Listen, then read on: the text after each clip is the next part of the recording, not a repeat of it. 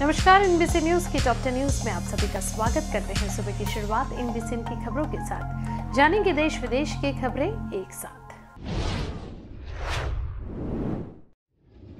हेमंत सोरेन को बड़ी राहत, सुप्रीम कोर्ट में जनहित याचिका की सुनवाई को योग्य नहीं माना गया। ईडब्ल्यूएस कोटे के लिए 103वें संविधान संशोधन को सुप्रीम कोर्ट ने करार दिया वैध।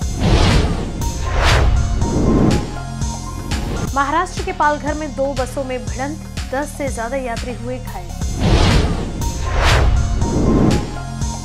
दिल्ली एनसीआर में हवा की गुणवत्ता अभी भी है बेहद खराब श्रेणी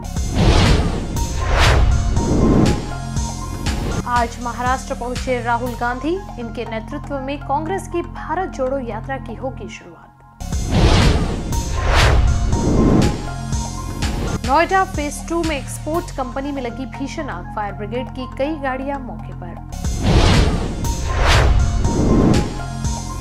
चेन्नई मैसूर वंदे भारत एक्सप्रेस का ट्रायल बैक हुआ आज से शुरू।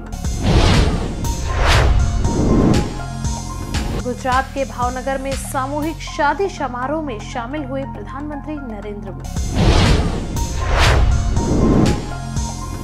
टी विश्व कप सेमीफाइनल भारत इंग्लैंड मुकाबले में अंपायर होंगे कुमार धर्मसेना और पॉल रिफेल